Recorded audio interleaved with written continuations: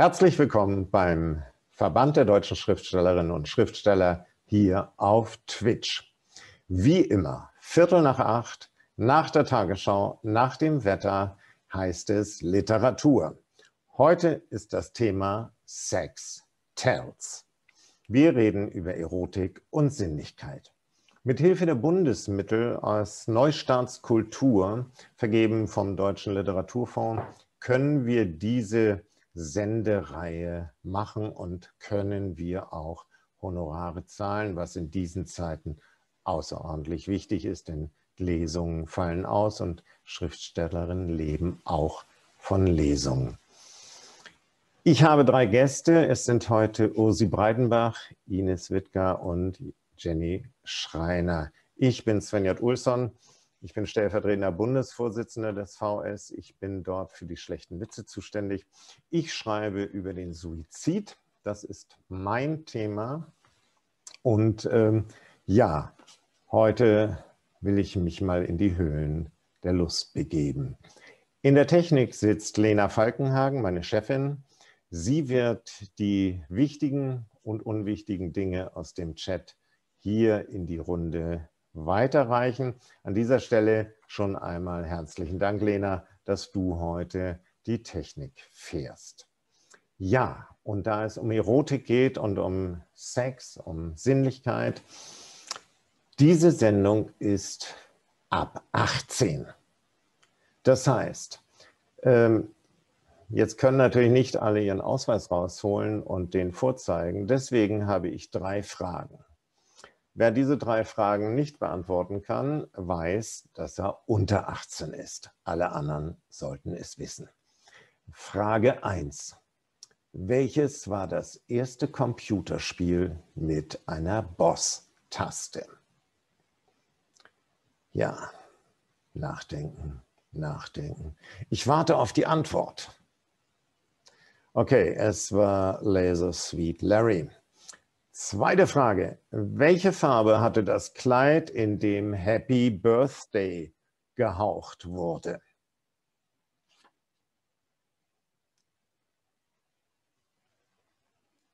Hallo. Ah, die sind nie gespielt. Ja, bei dem Spiel musste man erstmal ein paar Fragen beantworten, bevor man überhaupt reinkam. Also das Kleid weiß, nein, das Kleid war lachsfarben. Marilyn Monroe war es. Ähm, und die dritte Frage, wie hieß denn Annie weiter? Annie, die tief blicken ließ und dann bei der Dokumenta dabei war. So, und jetzt bin ich gespannt.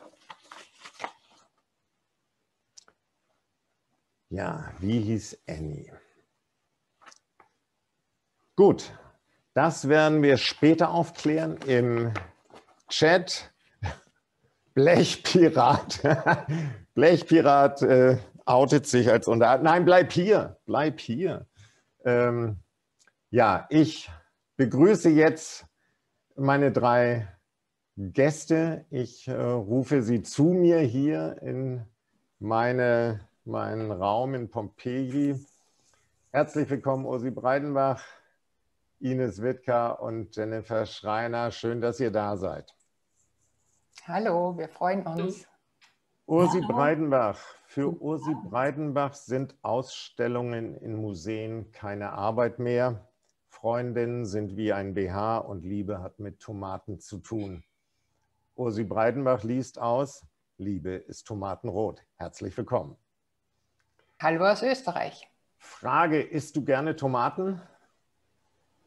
Mm, mittel gerne. Aber anhand deiner Fragen habe ich ja festgestellt, ich bin offensichtlich unter 18 und kann leider nicht an dieser Veranstaltung teilnehmen. Nein, bleib ich hier. Überhaupt nichts davon. Nein? Hast du nee. nie diesen, diesen Filmausschnitt gesehen, in dem Marilyn, Marilyn Monroe äh, zu John F. Kennedy auf dem Geburtstag Happy Birthday singt? Schon, aber wer achtet da aufs Kleid? Okay, ich. Ich habe mir mal so ein Kleid nähen lassen fürs Coverbett. Aber gut, egal, das ist eine andere Geschichte. Ähm, die zweite in der Runde, Ines Wittka. Aus dem Training von Nullen und Einsen stieg sie aus und unterrichtet seitdem erotisches Schreiben, wenn sie nicht gerade selbst über Formulierungen von Lust brütet. Ines liest aus Theater der Lust. Herzlich willkommen. Herzlich willkommen. Frage an dich, braucht Lust Mut? Ja, schon. Auf jeden Fall. Dann werden wir nachher sehen oder hören, wie viel. Ja. Den Reigen beschließt Jenny Schreiner. Sie hat einen Magister der Philologie. War das richtig? Ja, zum Erschrecken, ja.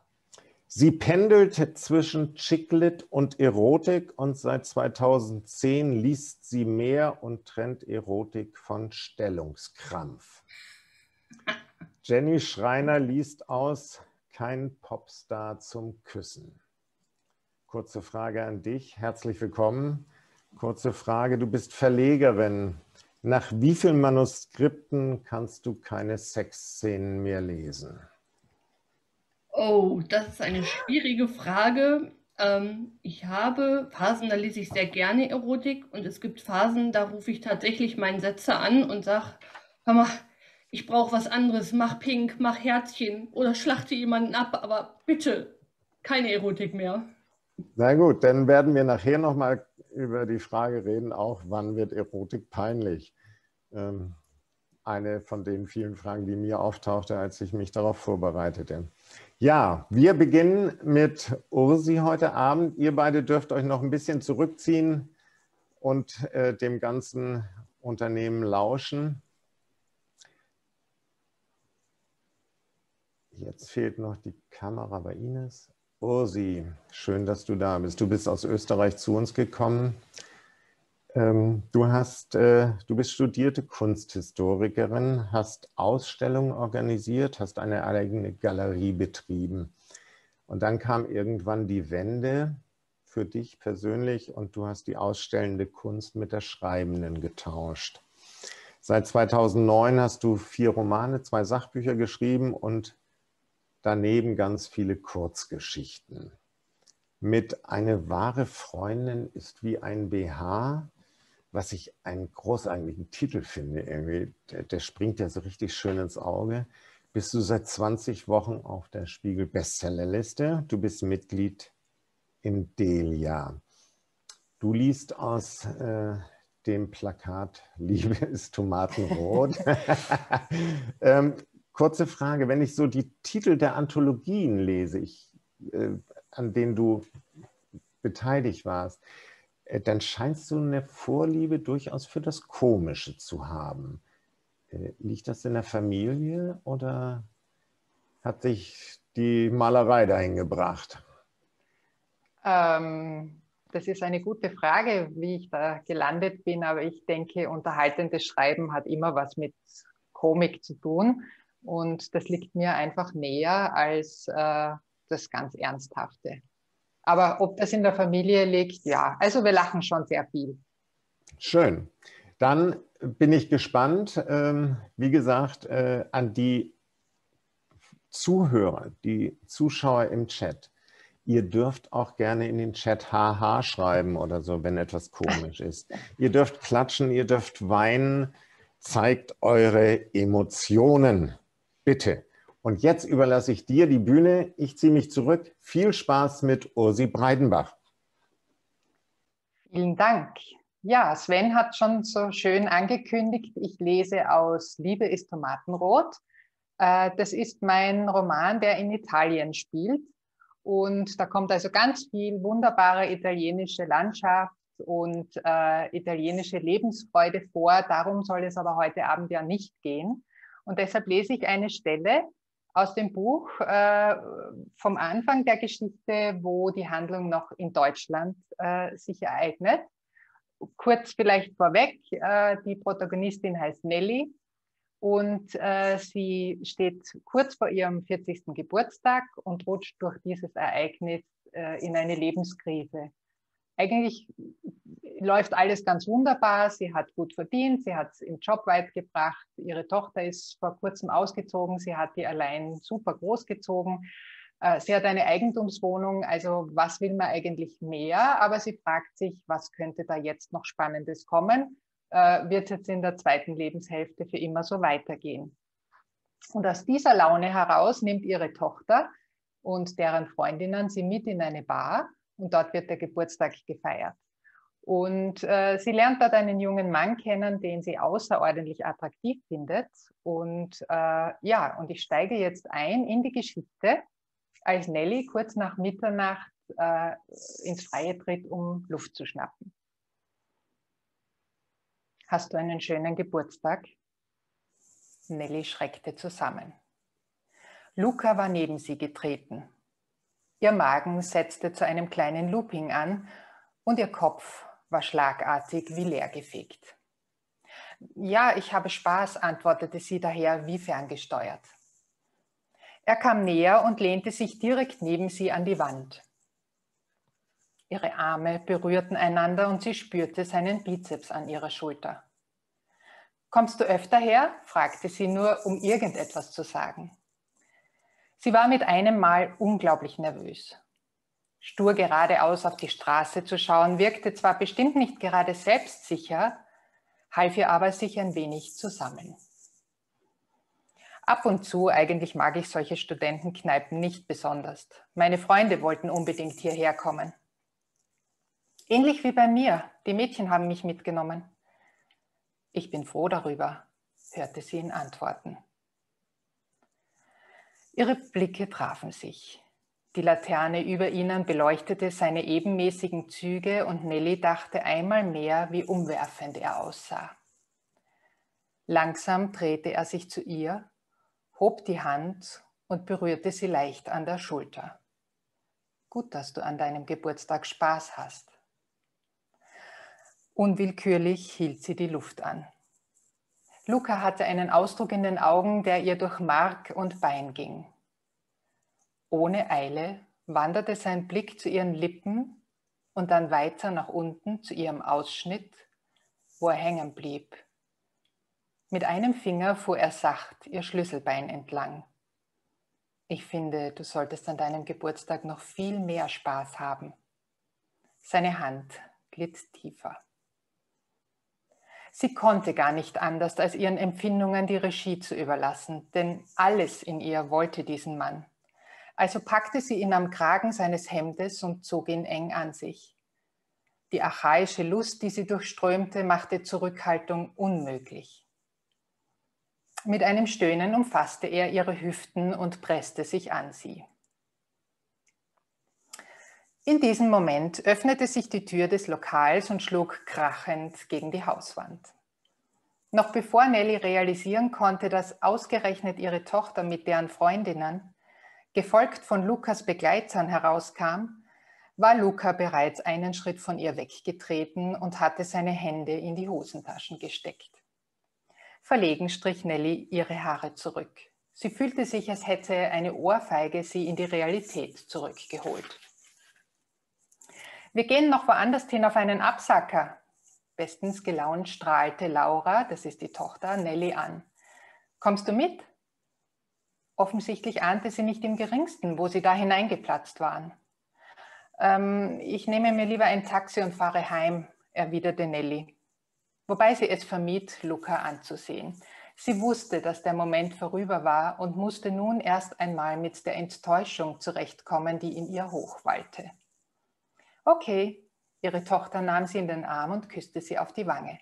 War ein super Abend, wir sehen uns morgen. Also los, auf geht's, sagte einer der jungen Männer und setzte sich in Bewegung. Die Nacht ist noch jung. Aus den Augenwinkeln sah Nelly, wie sie Lukas Blick streifte. Leute, ich gehe auch heim, ich habe genug für heute. Schweigend sahen Nelly und Luca der Gruppe nach. Sie überlegte fieberhaft, ob sie an das, was vor der Unterbrechung geschehen war, anknüpfen konnte. Der sinnliche Moment hatte sich so selbstverständlich angefühlt und genau diese magische Leichtigkeit wollte sie erneut heraufbeschwören. Aber konnte man so etwas tatsächlich erzwingen? Gleich würden die jungen Leute in die nächste Querstraße einbiegen und sie wären wieder allein. Nervös trat Nelly von einem Fuß auf den anderen. Als Laura sich noch einmal nach ihr umdrehte, hob sie die Hand und winkte. Komm gut heim, Mama, tönte die Stimme ihrer Tochter durch die Nacht. Mama schien es unaufhörlich zwischen den Häuserfassaden hin und her zu hallen. Die Situation war so grotesk, dass Nelly beinahe laut aufgelacht hätte. Sie war sich sicher, dass Luca nun das erkannte, was das fahle Licht bisher vor ihm verborgen hatte. Er war im Begriff gewesen, die Mutter eines Mädchens aus seinem entfernten Bekanntenkreis zu verführen. Bestimmt war diese Erkenntnis ein Schreck für ihn. Sie beschloss es ihm leicht zu machen und suchte in ihrer Tasche nach dem Handy. Als sie es gefunden hatte, schaute sie freundlich lächelnd auf. Dann rufe ich mir mal ein Taxi. Soll ich für dich auch eins bestellen? Luca fuhr sich mit den Fingern durch die Haare und schüttelte den Kopf. Ich brauche keins. Ich wohne nicht weit von hier. Ach so. Ihre Blicke begegneten sich. Und wenn du möchtest, brauchst du auch keins. Als Nelly erwachte, war es bereits hell.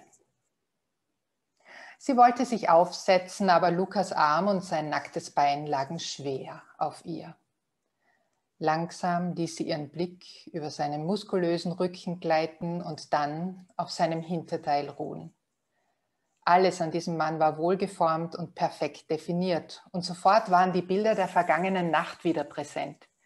Wie sie einander kaum in der Wohnung angekommen, gegenseitig die Kleider vom Leib, Leib rissen wie er sie ohne den Kuss zu unterbrechen zum Bett dirigierte und wie es sich anfühlte, Sex mit einem völlig Fremden zu haben. Neue Erregung brandete in Nelly auf, zusammen mit einer gewissen Genugtuung.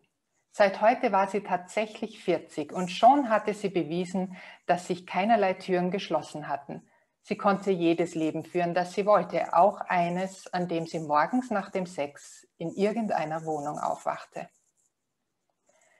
Vorsichtig versuchte sie unter Luca hervorzurutschen. Seine Miene, wie er sie bei Tageslicht betrachtete, wollte sie sich unbedingt ersparen. Sie hatte einfach keine Lust mehr, sich dem kritischen Blick eines Kerls auszusetzen und wollte sich mit all den vielen kleinen körperlichen Unzulänglichkeiten, die sich im Laufe der Jahre angesammelt hatten, abfinden. Aber genau das fiel ihr in Gegenwart eines so makellosen jungen Mannes reichlich schwer. Sie hatte es gerade geschafft, sich von seinem Bein zu befreien und machte sich daran, vorsichtig seinen Arm zur Seite zu schieben, als er plötzlich anfing, sich zu regen. Ohne den Kopf vom Kissen zu heben, nuschelte er verschlafen. Musst du aufs Klo, rechts neben der Eingangstür. Alles okay, flüsterte Nelly und wand sich unter seinem Arm hervor. Schlaf weiter. Endlich befreit stand sie auf. Der dringliche Wunsch, unbemerkt die Wohnung zu verlassen, damit alles nicht irgendwie peinlich wurde, ließ sie zu wenig Acht geben. Unsanft prallte sie gegen etwas, das an die Wand gelehnt im Vorzimmer stand. Scheppernd und klingelnd fiel es zu Boden und Nelly, die es noch irgendwie festzuhalten versuchte, stürzte mit. Fluchend und stöhnend rappelte sie sich auf, doch der Schmerz war so groß, dass sie auf die Dielen zurücksank. Luca war mit einem Satz aus dem Bett gesprungen. Ist dir was passiert? Seine Stimme klang rau, die Haare standen in alle Richtungen ab und seine Augen waren schreckgeweitet. Wer stellt denn bitte sein Fahrrad mitten in die Wohnung? Stöhnend trieb sich Nelly die Hüfte. Mir haben Sie schon zweimal eins geklaut. Er ging neben ihr in die Hocke. Nelly prüfte verlegen, ob das T-Shirt wohl auch das Nötigste verdeckte. Hey, alles in Ordnung? Luca sah ihr prüfend ins Gesicht. Hast du dir wehgetan?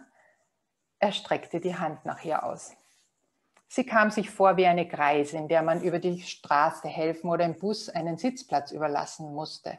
Von der elektrisierenden Stimmung der vergangenen Nacht war nicht ein Fünkchen übrig geblieben und sie fühlte sich plötzlich ganz schrecklich. Mir fehlt nichts, ich muss jetzt nach Hause. Luca runzelte die Stirn. Tut mir leid, das mit dem Rad. Soll ich dir Kaffee machen? Sie schüttelte den Kopf. Tee? Nein, danke. Missmutig inspizierte sie ihre Hüfte. Die Haut an ihrer Seite war gerötet und etwas schlaff sah sie obendrein aus. Ob Luca das schon aufgefallen war?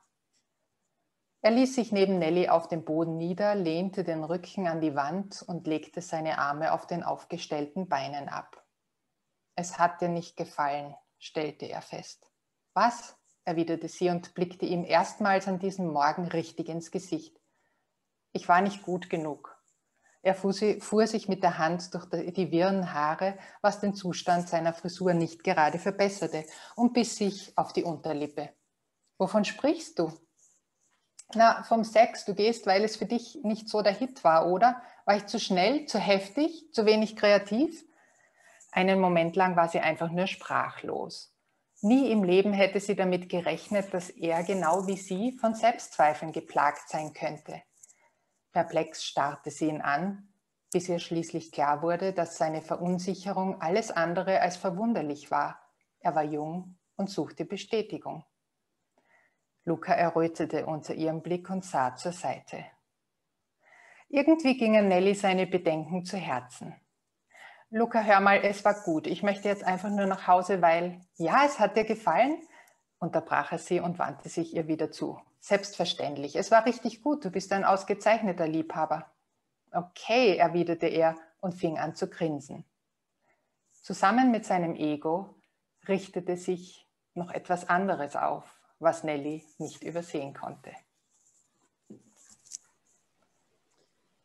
Ja, vielen Dank, Ursi. Alle im Chat hätten jetzt gerne noch ein bisschen weiter zugehört. ja, also ich auch. Ähm, ja, ich bin äh, ganz überrascht. Äh, gar nicht überrascht. Also ich habe diese Frage nach dem Humor, äh, stelle ich fest, äh, viel zu früh gestellt.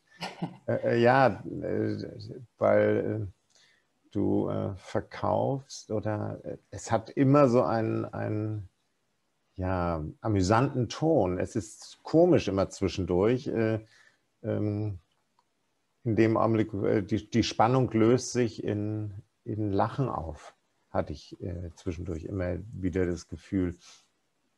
Ähm, ist das, ähm, ist das so das, was du, ja, was du auch gerne selbst liest? Ist das, äh, für dich die Lösung, äh, so spannende Momente in, in, Lachen aufzulösen? Also erst einmal vielen Dank für das Kompliment. Also das ist eines der schönsten Komplimente, was ich je über meine Texte gehört habe. Vielen Dank dafür. Also äh, ich denke mal so richtig Schenkelklopfer lustig schreiben, das kann ich nicht. Nein, also, nein, nein, nein, das wäre ja genau, auch furchtbar. Ja, sondern das, was ich mag und, und wo ich mich bemühe, ist eben, dass es äh, ähm, sehr subtil zwischen den Zeil Zeilen mittransportiert wird. Und äh, ich bin mir nicht ganz sicher, aber ich glaube, das ist eher so der typisch österreichische Humor auch. Ähm, und ja, genau, also ich versuche auch, also das, wie sie sich da fühlt an diesem nächsten Morgen, ist ja nicht nur angenehm. Ne? Und das irgendwie, ja, du beschreibst es eigentlich perfekt aufzulösen, dadurch, dass es halt irgendwo. Naja, dass so sie da über das Fahrrad stolpert, ist ja. das ist großes Kino. Das ist richtig. Was einem klasse. alles passieren kann, ne? nach so einer Nacht. Ja, ich, also ich sah das plötzlich vor mir und dachte, ja. Äh, alles andere wäre äh, irgendwie nicht passend gewesen. Das Fahrrad ist genau das Richtige. So, das ist sehr, sehr, sehr schön, ähm, dieses Geschichte. Jetzt, du sagtest gerade, ähm, dieses Österreich. Hm, du hattest, äh, der Körper war definiert. Ja. Ähm, da dachte ich, ah, das ist so typisch österreichisch. Äh, in der Wortwahl. Äh, wie geht dir das auf Lesung? Ähm, passiert es da, dass das Publikum, wenn du jetzt außerhalb Österreichs zum Beispiel liest, äh, dann stutzig wird manchmal? Hm, eigentlich dürfte es nicht passieren, weil ich schreibe ja für den großen deutschen ja, Markt klar, und für einen deutschen Verlag und habe äh, äh, deutsche Lektorinnen und äh, eigentlich dürfte es nicht passieren, dass was Österreichisches drinnen ist, aber vielleicht liegt es auch an der Betonung, wenn ich es vorlese. Das äh, passiert ja auch manchmal, dass man dann einen Satz, den du vielleicht genauso sagen würdest, nimmst du als österreichisch wahr, weil ich ihn mhm. einfach mhm. anders betone. Aber ja, keine Ahnung, das können wir nachher die anderen beiden Damen fragen, ob sie Männerkörper auch als definiert bezeichnen würden. Na, ich habe nachher, mich würde nachher auch nochmal die Frage äh, interessieren, ähm, inwiefern Erotik und ähm, ja, Dialekt äh, zusammenpasst. Aber da denke ich, kommen wir nachher nochmal zu. Ähm, fürs Erste vielen Dank, Ursi. Ähm, und wir machen weiter mit Ines Wittka. Ursi darf sich ausruhen und Ines hat diesen wunderschönen Hut, auf den ich mich den halben Nachmittag gefreut habe. Ich dachte, ich will den live sehen. Kannst du ein bisschen mehr in die Kamera den nochmal zeigen, so, damit wir wirklich alle was davon haben? Hier sieht man ihn. Super. Hast du den Geschenk gekriegt oder selbst gemacht? Nein, den hat eine ähm, Kollegin gemacht, Justina Köke. Sie ist Performance-Künstlerin und ähm, sie macht solche schönen Sachen, so Hüte und auch viele andere schöne Dinge. Das heißt, Annie Sprinkle wäre dir ein Begriff gewesen. Ja, klar. ah, ja, den Kollegen im Chat leider nicht. Annie Sprinkle, die äh, 2017, glaube ich, äh, sogar auf der Documenta war. Das weiß ich jetzt nicht, aber sie war eben die erste, die auf der Bühne Tief mit blicken einem ließ. Spekulum Genau. und Männer in ihre Vulva, Vagina blicken ließ als Performance. Ja, ja, klar. Das, also ich weiß noch, äh, als sie im Schmidt-Theater in Hamburg auftrat, äh, ich war nicht da, ich weiß nur, es ging ein, ein Rauschen, äh, also ein Orkan durch den Blätterwald, alle richten sich drüber auf und so. Und ähm, ja, das war äh, bemerkenswert. Gut, kommen wir zu dir. Du hast mehrere Semester Kunst studiert und hast dann aber umgesattelt, Verlagswirtschaft. Ja, Bist schließlich als Texterin in der Werbebranche gelandet, hast da zwölf Jahre lang durchgehalten, bevor du dich dem kreativen Schreiben zugewandt hast. Seit deinem Studium an der Alice Solomon Hochschule gibst du Schreibwerkstätten und Workshops zum erotischen Schreiben. Deine ersten Bücher waren Interviewbücher, bei denen es bereits um Liebe und Erotik ging. Ähm, Und du schreibst nicht nur erotische Romane, sondern du hast sogar einen Schreibratgeber dafür veröffentlicht. Und ich muss gestehen, in der Vorbereitung habe ich ihn mir gekauft. großartig. Aber ich habe ihn nicht durchgearbeitet, äh, weil ich bin komisch, aber das ist immer doch nicht meine Welt, solche Dinge durchzuarbeiten. Ja, Ähm, aber ich habe drin gelesen und fand das, äh, fand das echt ganz schön. Ähm, an zwei, drei Stellen bin ich hängen geblieben, ähm, weil ich dachte, okay, wenn ich jetzt einen, Roman, einen erotischen Roman schreibe, ähm, du hast irgendwo vorgeschlagen, man soll sich so anziehen. oh, und ja. so. Ja, ja, nein. äh, Ich, ich, dachte, ich dachte dann daran, das ist aber ganz schön anstrengend, aus den High Heels und den Strümpfen raus, äh, wieder in den Sliptanger. Und also, wenn man ständig die Figuren wechselt, dann ist man ja ständig am Umziehen. Vielleicht auch lustig. Aber ähm, ich fand das als, als Idee fürs Schreiben irgendwie wirklich sehr schön. Ähm, ich muss da jetzt die Frage stellen, äh, weißt du, äh, wenn oder kriegst du eine Resonanz des, des Kolleginnen, Kollegen, des Menschen da draußen, das auch so praktizieren? Also ich komme ja, oder die, dieser, dieser Ratgeber, der hält ja die Ratschläge aus dem kreativen Schreiben umgesetzt auf die Erotik. Und im kreativen Schreiben ist es eigentlich ganz normal, dass man das macht. Man geht in den Wald und schreibt in der Natur oder man geht auf den Bahnhof und schreibt am Bahnhof, also um so mehr Inspiration Klar. zu haben, um mehr Sinne zu öffnen und so weiter und so fort. Und ähm, ich finde es halt sehr naheliegend, dass man die Dinge dann selber ausprobiert, weil wer mal eine Corsage getragen hat, weiß natürlich sofort, Ja, wie sich alles verändert. Der Gang, die Haltung, der Ausdruck, ob man sich da drin sexy fühlt, weiblich fühlt und das dann eben sofort niederzuschreiben. Und die sind ja dann erstmal so Schnipsel oder Rohmaterial, das man dann eben dann nachher einbauen kann. Ja. Aber ein Ja. Kritiker, der dieses Buch besprochen hat, fand diesen Ratschlag eben auch ähm, Ja, zweifelhaft, aber ich finde, man Ja, muss wobei es ausprobieren. Ich finde ihn gar nicht zweifelhaft. Also ich dachte nur, dass, äh, das ist so ein, der, ein klasse Ratschlag, aber ich dachte plötzlich, äh, ich bin ja eher der Komiker, ne? So, Mhm. äh, ich ziehe mich dann ständig um.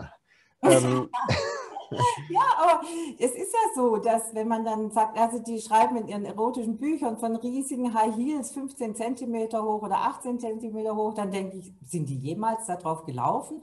Oder was sonst so in dieser Erotikliteratur manchmal beschrieben wird, dann denke stimmt, man, man Ja. soll, hat man das ausprobiert? Oh, da werden dann Sachen beschrieben, wo ich denke, kennt der Autor oder die Autorin das wirklich? Ja, ja, also man sollte schon auf High Heels äh, gehen können und wissen, wie sich das anfühlt, äh, schon, ja. wenn man auf High Heels vor etwas wegläuft, zum Beispiel, ob das überhaupt geht. Äh, das stimmt. Ähm, du liest aus Theater der, Lu der Lust Mut. ja. Und bevor ich mich zurückziehe, äh, eine letzte Frage. Ist Erotikschreiben wirklich Dirty Writing? Nein, gar nicht. Also ähm, es ist ja so, dass wir nicht immer das ähm, Recht auf den Titel haben. Das heißt, das, äh, der Titel wurde vom Verlag vergeben. Und ähm, ich hätte jetzt Dirty Writing tatsächlich nicht gewählt, weil mein ganzes Streben ist eben die Erotik aus dieser Ecke herauszuholen, aus diesem Dirty Talk, also aus diesem Dirty Ecke, aus dieser Schmuddelecke. Ja, also ich finde es eben viel besser, wenn sie wertschätzender behandelt wird. Das heißt, ich hätte jetzt Dirty Writing nicht gewählt, aber es ist halt ein, Arti- ein Titel, den man sehr schnell versteht, weil es eben Äh, und den man sofort haben will. ja Gut, ich ziehe mich jetzt zurück. Ich überlasse dir die Bühne und wünsche allen da draußen viel Spaß mit Ines Wittger und Theater der Lust. Ja, auch euch an den Bildschirmen da draußen ein herzliches Willkommen. Ich freue mich, dass ihr da seid und dass ich diese Gelegenheit habe, hier zu lesen.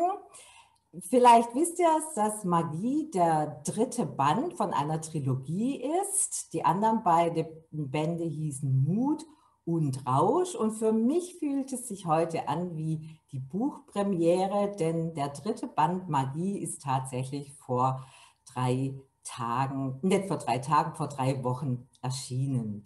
Ich teile meine Lesezeit in zwei verschiedenen Textstellen auf. Die eine Textstelle zeigt, warum ich behaupte, dass es ein feministischer Roman ist. Und die zweite Lesestelle, warum es ein erotischer Roman ist. Victoria, Jill und ihre Freundinnen haben einen Salon gegründet, den Roten Mond Salon, bei dem sie über die eigene Sexualität sprechen wollen. Jill hält die Eröffnungsrede. Immerhin reden wir bereits darüber, was wir nicht möchten. Das ist fantastisch. Doch wir reden immer noch viel zu wenig darüber, was wir mögen. Was geht in eurem Kopf vor, wenn ihr Sex habt? Das ist eine sehr persönliche Frage. Und vielleicht fürchten wir uns darauf zu antworten, weil die Antwort nicht in unser Bild von Gleichberechtigung passt, weil weibliches Begehren verurteilt wird, sobald es nicht der Norm entspricht, auch von Frauen.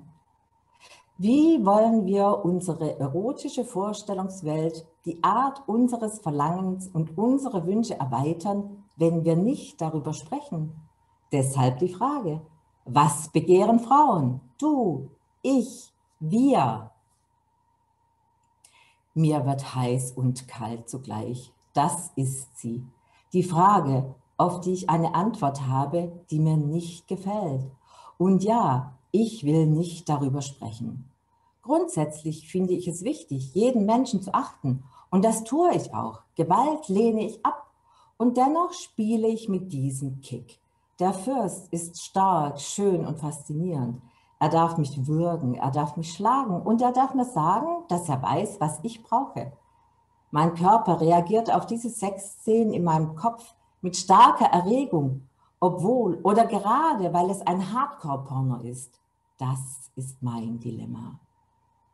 Jill kennt meine Fantasien und hilft mir, sie einzuordnen und manchmal auch auszuleben. Seitdem gelingt es mir immer öfter, sie wegzuschieben. Warum ist das überhaupt wichtig? Weil ich jedes Mal, wenn es mir nicht gelingt, hinterher den Menschen verachte, den ich eigentlich lieben sollte. Mich. Ich straffe meine Schultern und merke, dass ich den größten Teil von Jills Rede verpasst habe. Wenn wir frei von Ängsten und Tabus ausprobieren könnten, was wir erleben möchten, was wäre das? Wann fühle ich mich als sexuelles Wesen? Wie nenne ich mein Geschlecht? Jill lässt ihren Blick über die Frauen schweifen. Alle hören aufmerksam zu. Sichtlich bewegt spricht sie weiter. Sind das einfache Fragen? Ich glaube nicht. Obwohl an unserem Geschlecht nichts Schmutziges oder Hässliches ist, scheint es schon schambesetzt zu sein, seinen Namen auszusprechen. Eine blonde Frau mit tiefschwarz getuschten Wimpern sitzt auf einem Barhocker. Auf ihrem Namen steht, steht Pia. Sie tuschelt mit der Frau im karierten Anzug neben sich. Dann lacht sie und wirft in einer provokanten Geste ihre Haare zurück. Sie trägt große Ohrringe, die die Form einer Vulva haben. Wie schön! Hier hat sich eine von uns davon befreit, reagiert, reagiert Jill sofort darauf. Wie wir unser Geschlecht nennen, zeigt, welche Bedeutung es für uns hat. Pia ruft, Honigtopf! und zieht damit weitere Blicke auf sich. Damit locke ich die Männer an und lasse sie daran schlecken. Einige Frauen klatschen spontan. Weitere Ideen? Scheide? Gruselig, ruft die Frau im karierten Anzug. Klingt nach Mittelalter und Medizin, ergänzt Pia. Vagina, Muschi, Vulva, geheimer Garten. Ihr könnt euch gleich darüber austauschen. Ich ertappe mich bei dem Gedanken, wie cool ich es fände, wenn nun alle anwesenden Frauen mit den Füßen stampfen und dazu im Takt Vulva, Vulva, Vulva rufen würden. Das muss ich nachher unbedingt Ella sagen. Sie könnte so etwas initiieren. Es ist also nicht damit getan, dass ihr mir heute einfach zuhört. Beteiligt euch, zeigt euch. Ich weiß, das kostet Mut. Doch wir sind keine Richterinnen, die urteilen oder gar verurteilen. Die entscheiden, was gestört und was normal ist. Was ist schon normal? Es gibt Unterschiede. Einfach deswegen, weil es unterschiedliche Frauen gibt. Glaubt mir, die Norm ist ein zu schmaler Grad für uns vielfältige Weiber. Alle lachen, manche in ihrer Anspannung zu laut. Ja, und damit ihr hört, dass in Magie nicht nur heftig diskutiert, sondern auch lustvoll geliebt wird, lese ich einen Ausschnitt von einem Dinner in einem Liebeshotel dass meine drei Protagonisten, Ralph, Jill und Victoria, die in eine Ménage à trois verwickelt sind, genießen. Der Kellner nimmt Ralfs Teller und legt dafür ein mit einer Schleife verziertes Päckchen vor ihm ab. Er greift nach den anderen Tellern und verschwindet mit einem freundlichen Kopfnicken.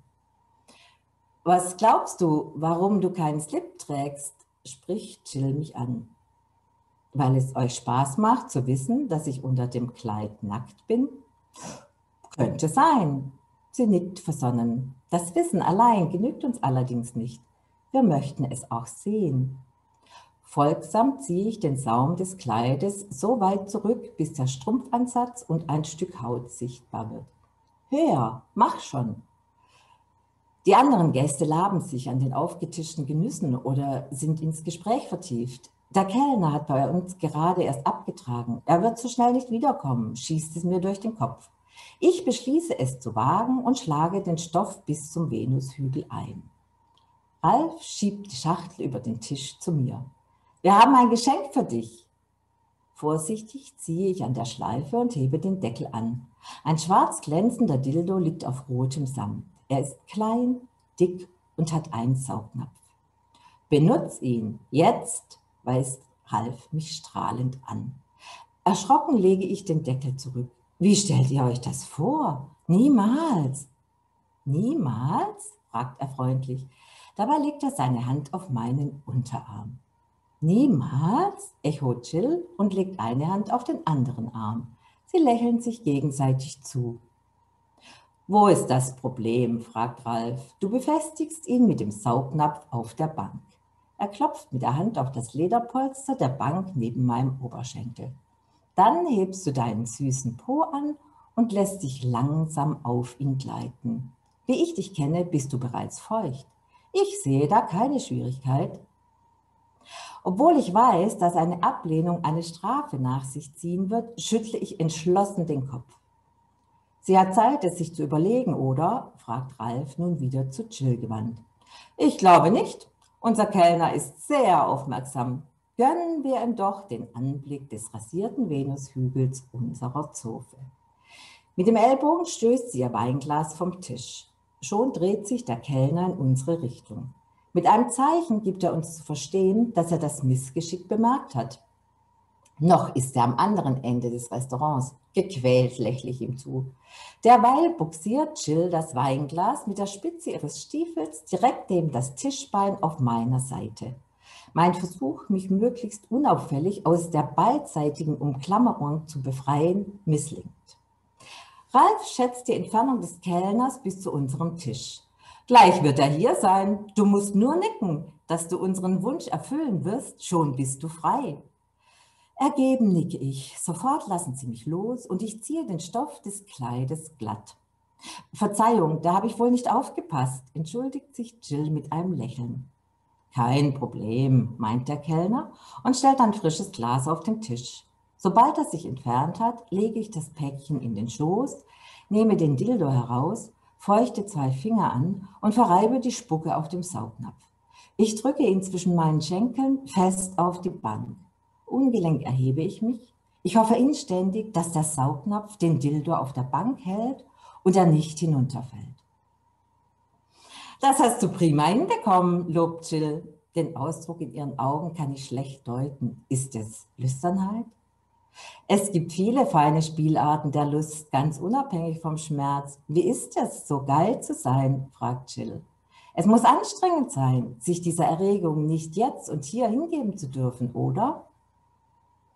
Uns beiden auf diese Art zu Diensten sein gefällt dir, oder, Zofe? Es fällt mir schwer zu antworten.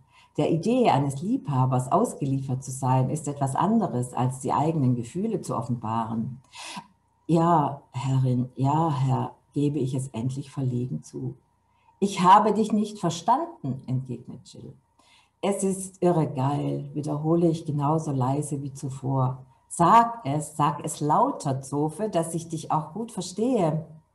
Es gelingt mir kaum noch klar zu denken. Jill ist in ihrer Dominanz und dunklen Feenhaftigkeit unglaublich erotisch. Je mehr sie sich von diesen quälen, lustvollen Gemeinheiten einfallen lässt, umso mehr begehre ich sie. Es gefällt mir, Herrin, sage ich lauter. Zu spät, sagt Ralf und lächelt diabolisch. Der Hotelier Joachim trägt in dem Moment den Hauptgang des Menüs auf. Lachs in Mangoldblatt auf Rieslingschaum an rotem Pfeffer. Willst du dich nicht einen Moment zu uns setzen? fragt ihn Ralf. Jill grinst breit. Joachim nickt und setzt sich neben mich auf die Bank. Dies ist also meine Strafe. Ja, soweit von mir aus Magie, Theater der Lust. Ja, vielen Dank. Im äh, Chat wird applaudiert. Ähm, Dankeschön. Kurze Frage, fängt Erotik mit der Sprache an? Naja, ist ein wichtiger Teil, auf jeden Fall. Ja, also ich denke schon, dass äh, wir da immer viel drüber nachdenken, wir Erotikschriftstellerinnen und auch wahrscheinlich die Männer, ähm, welche Sprache wir benutzen. Und ähm, ich vermute, dass am Anfang die Anfänger immer googeln, wie wild, oh, wie nenne ich es jetzt? Ja, nenne ich es jetzt Brüste, Titten, Melonen, was weiß ich, ja.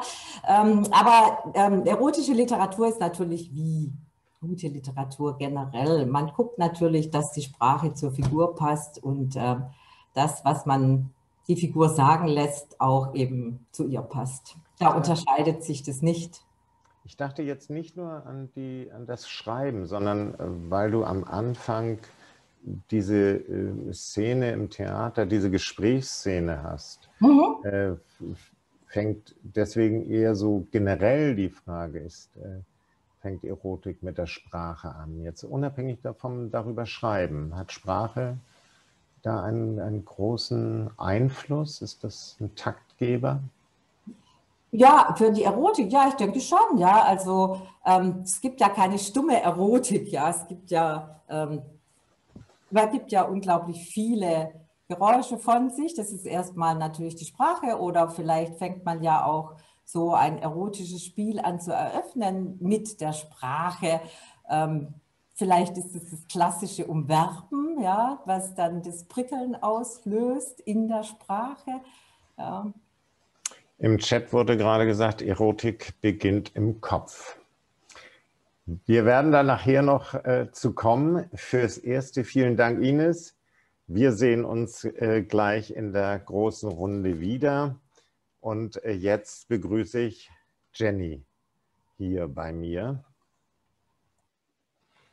Hi.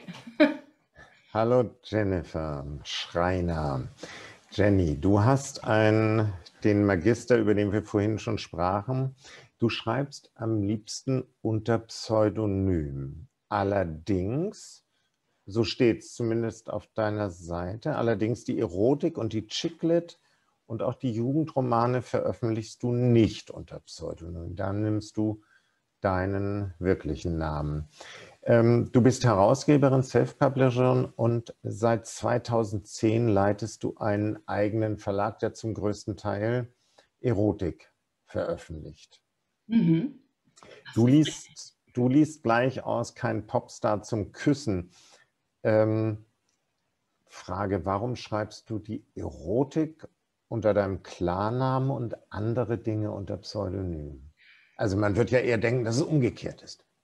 Ja, ähm, umgekehrt wäre wahrscheinlich für alle Beteiligten klüger gewesen, aber lustiger ist definitiv es so rum zu machen. ähm, es war einfach damals, ähm, hm, ich überlege gerade, wie ich es am besten erkläre.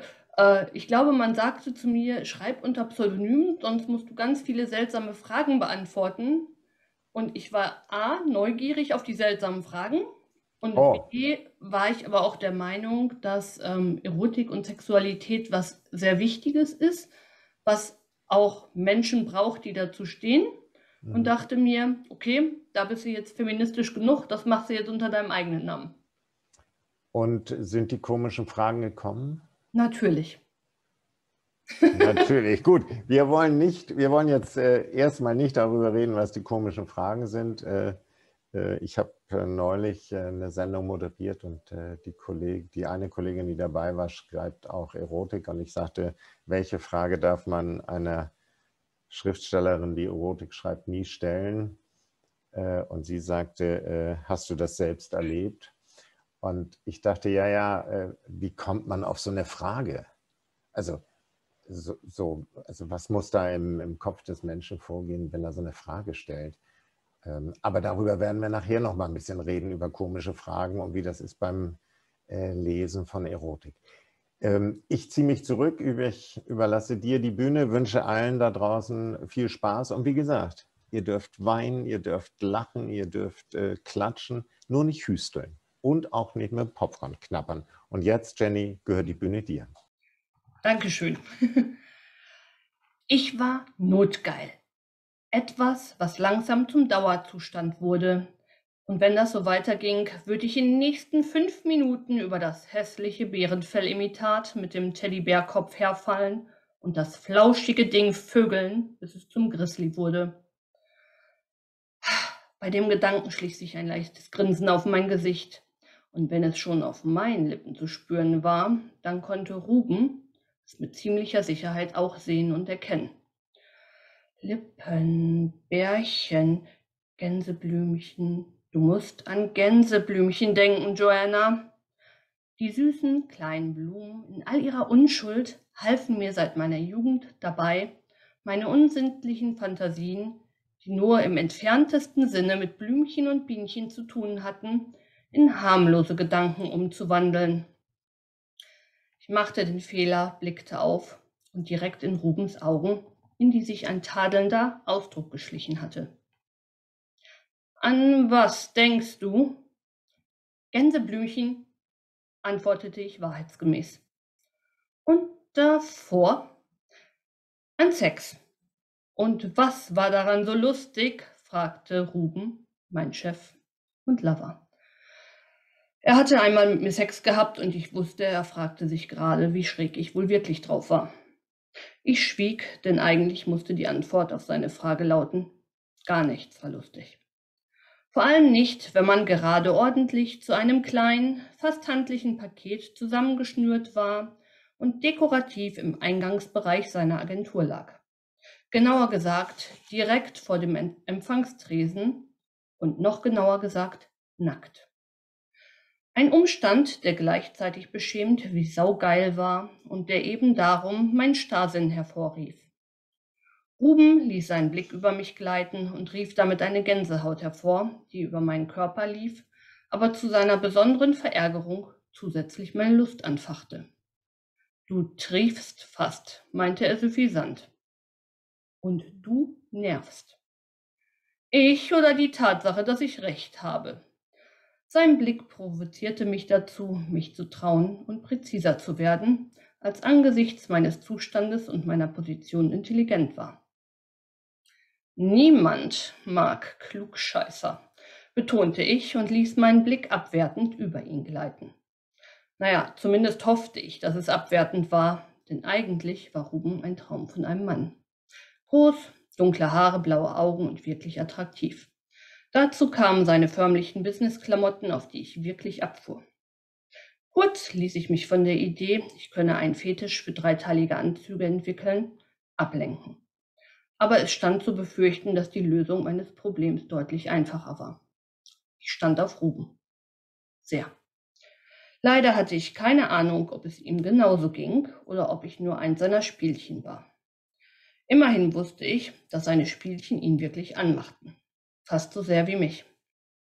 Als lese er meine Gedanken, stand Ruben von seinem Stuhl auf, kam hinter dem Empfangstresen hervor und trat dabei auf das Bärenfell. Ich verkniff mir ein Lachen. Hatte der Bär mir geradezu gezwinkert? Ruben bückte sich und prüfte den Sitz des Bondage-Bandes. Leider hatte ich mich nicht gut genug unter Kontrolle, um nicht zu stöhnen, als er mit den Fingern wie unabsichtlich meine Brustwarze berührte. Grinsend, als hätte ich ihm meinen Verdacht bestätigt, wiederholte er die Berührung. Du kennst noch das Safe Word, meine geile kleine Joanna? fragte er. Ja, konnte ich mir gerade noch merken. Ah, für Frechheiten reicht es noch. Ruben zog eine Fessel enger und ich knirschte mit den Zähnen, weil der kurze Schmerz wie eine Welle der ungewollten, unwillkürlichen Lust durch mich lief. Aber es wirkte. Sicherheitshalber hielt ich den Mund. Soll dich der nächste Kunde, der die Agentur betritt, ficken? erkundigte er sich drohend, klang aber gleichzeitig irritierend freundlich und auch ein bisschen neugierig. Nein. Nein, was? verlangte Ruben. Nein, mein Herr. Gebieter, korrigierte er. Willst du nicht erst mal gucken? Nein, meinte ich und fügte dann abermals ein Herr hinzu. Schließlich war mein Gebieter nicht Dracula. Warum nicht? Dieses Mal klang Ruben tatsächlich nur noch neugierig. Falls ich irgendwo eine versteckt devote Ader haben sollte, dann bin ich wohl eher eine Einmannsklavin, erklärte ich und hoffte, dass er verstand, was ich meinte. Mein Chef, Aka Lava, lachte.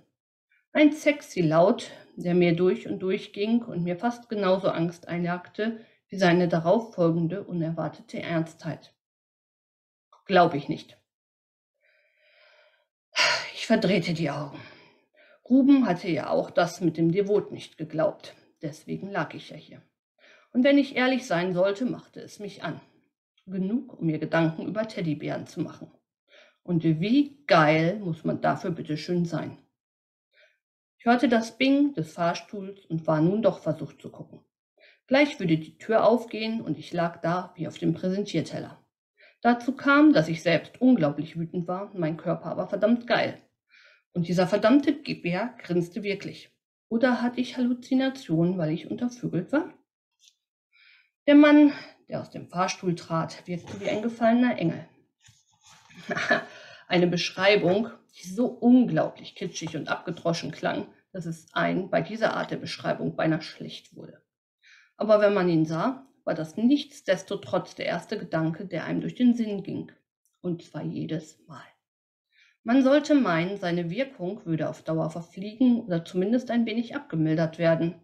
Aber bislang hatte ich noch keinerlei Abnutzungserscheinungen in dieser Hinsicht feststellen können.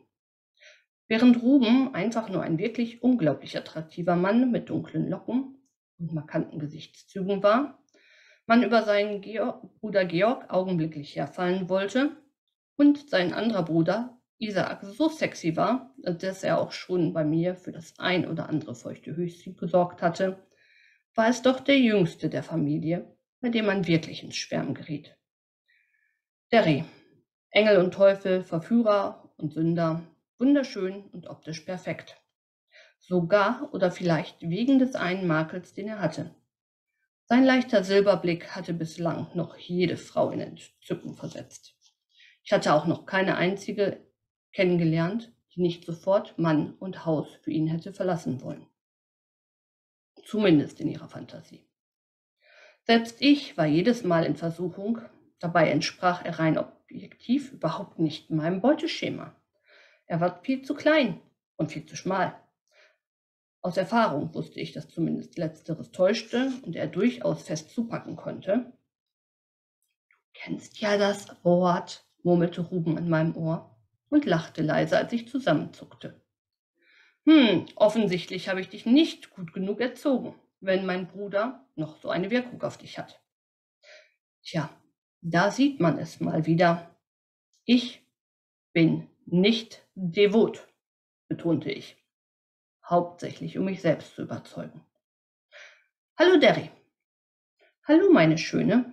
Der teuflisch gut aussehende Bruder trat einen Schritt auf mich zu und bückte sich, um mir einen Begrüßungsbussi auf die Wange zu geben.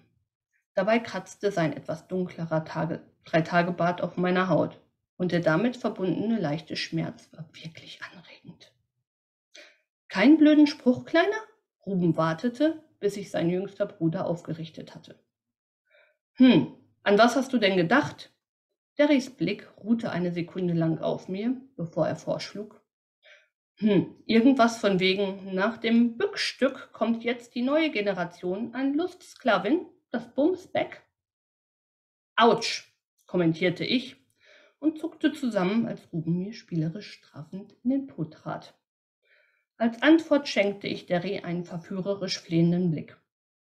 Machst du mich los, bitte? Der Reh runzelte die Stirn und sein Blick wanderte von mir zu seinem Bruder, so dass ich mich genötigt fühlte zu erklären. Ruben versuchte aus mir eine devote Liebesdienerin zu machen. Also, Süße, man kann niemanden devot machen, und ich bin mir sicher, dass er dich vorher um seine Erlaubnis gebeten hat, lachte Derry mich aus. Ich war nicht Herr meiner Sinne, behauptete ich und sagte die Wahrheit. Mit Rubens Schwanz in mir, kurz vor dem Höhepunkt und während ich um einen Orgasmus bettelte, war wohl nicht der Zeitpunkt, den ein Richter als zurechnungsfähig beurteilt hätte. Kennst du dein Safe Word? erkundigte sich Derry, und ich grummelte etwas, was er als Ja interpretierte, denn er meinte, dann hör jetzt bitte auf zu nörgeln. Ja, das war ein kleiner Einblick in kein Popstar zum Küssen. Ich hoffe, es hat euch gefallen. Vielen Dank, Jenny für den Popstar äh, zum Küssen. Nein, kein Popstar zum Küssen. Ähm, Im Chat wird applaudiert. Äh, meine Frage, die äh, sich im Kopf formulierte, ähm, wiefern ist es wichtig, ähm, dass ähm, ja, bei Spielchen, also zum Beispiel dieser Bondage-Szene, äh, die Dinge auch stimmen. Also dass man etwas schildert, was im Bondage dann auch wirklich möglich ist und äh, ähm, nicht irgend sich etwas ausdenkt, was gar nicht geht. Wie, wie wichtig ist das? Ähm, es ist tatsächlich so, also ich rede jetzt hauptsächlich als Pflegerin, ähm, wenn ich eine Textstelle lese, in der Bondage vorkommt, gucke ich tatsächlich, ob diese Position möglich ist. Und ich habe tatsächlich einmal jemanden anrufen müssen, der sich in dem Bereich deutlich besser auskennt als ich und habe fragen müssen, hör mal hier, so sieht's aus, geht das anatomisch oder überhaupt oder äh, passieren da nicht so schöne Sachen mit der Schulter? Und wie war das? Ging das? Nein, das ging nicht. Das ging nicht. Das heißt, äh, da hat sich jemand etwas äh, einfach ausgedacht. Ähm, reagieren, kriegen die Leserinnen und Leser das überhaupt mit, ob das äh, passt oder geht oder funktioniert? Gibt es da Rückmeldungen? Also eigentlich ähm, geht, gehen die Rückmeldungen die das kommentieren, tatsächlich von Leuten aus, die auch in der Szene sich bewegen und die dann auch sagen, okay, ja, das war super kreativ und schön geschrieben und das funktioniert. Ähm, das ist meine Lieblingsposition. Ähm, Otto Normalleser findet die Szenen toll, aber ich glaube, die guckt tatsächlich nicht nach. Ja, dann würde ich doch die große Runde eröffnen. Vielen Dank. Ähm, Ines und Osi, schaltet euch doch gern mit dazu, sodass wir ein bisschen äh, zu viert über die Frage Sextells erzählen können. Ähm, ja, Erotik. Früher, also ich komme ja aus dem Buchhandel und ähm, als ich äh, Buchhändler lernte, gab es in der Buchhandlung ein ganz kleines Regal mit erotischer Literatur. Und das Lustige war daran, äh, dass vor diesem Regal ein kleines, eine kleine rote Kordel hing. Damit auch jeder wusste, dass dort was Verbotenes steht. Ähm, und es wurde immer sehr sorgfältig darauf geachtet, wer da, wer da nun ranging und äh, sich die Sachen anguckte. Ich weiß gar nicht, ob da je irgendwann mal was verkauft wurde. Ähm, ich weiß nur, dass dann erzählt wurde, ja, ja, den Henry Miller, den habe ich in, äh, in eine Zeitung eingeschlagen, weil soll ja am Strand nicht jeder sehen, was ich lese. Ähm, wie hat sich das verändert? Also ich muss sagen, das ist jetzt schon ja, vielleicht 30, also vielleicht auch länger her, wir wollen nicht über mein Alter reden, aber wie hat sich das verändert? Äh, erotische Literatur, der Umgang damit. Soll ich was dazu sagen? Ja, nur zu. ja, als ich, als ich in die Buchhandlung ging, um äh, meinen Schreibratgeber zu suchen, im Regal zum Beispiel, oder ob meine anderen Bücher in der Buchhandlung geführt sind, ich finde, da hat sich nicht viel geändert. Also das Regal, das eben für die erotische Literatur zur Verfügung steht, ist sehr schmal und äh, dann wurde ich durchs ganze Haus geschickt, weil ich würde sagen, 80 Prozent der Verkäuferinnen, die ich gefragt habe, wo die erotische Literaturecke ist, wussten es einfach nicht. Also und da gehe ich mal davon aus, dass sich im Buchhandel da nicht viel verändert hat.